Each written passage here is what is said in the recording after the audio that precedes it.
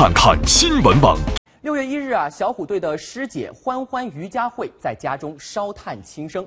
欢欢的去世呢，也让她和两任前夫的往事再被重提。其中第一任丈夫导演张孝正被指婚内屡次出轨，出轨对象就包括了某知名女星。那更有媒体爆出说，这个张孝正在新婚三个月就开始劈腿，这让要强的欢欢慢慢的对婚姻失去了希望。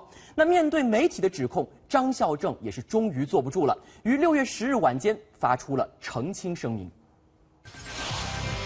欢欢在演艺事业如日中天，年仅二十一岁的时候，选择和导演张孝正结婚，生下一儿一女。原本想携手一生，谁知道婚姻十年内，欢欢遭遇丈夫出轨八次，最离谱的莫过于新婚三个月就和其他女人有亲密关系。对此，张孝正的这篇声明稿有五百字，但关于极端出轨事件，张孝正只是一句带过。关于所谓婚后三个月外遇，也绝非事实。按外界说法，两人婚姻十年，张孝正出轨八次，那其余的七次呢？和女星蒋勤勤那段婚外情传言呢？张导演只字未提，所谓避重就轻也就如此了。他一直不愿意离婚，对，为什么？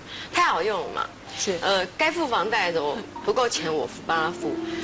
对于欢欢这段曾经在某节目的谈话，张孝正也不忘为自己证言。婚后及离婚后，我每月支付孩子的抚养费高达十几万，这当中包括我提供位于台中市大雅路的房子，如今已付出两千余万。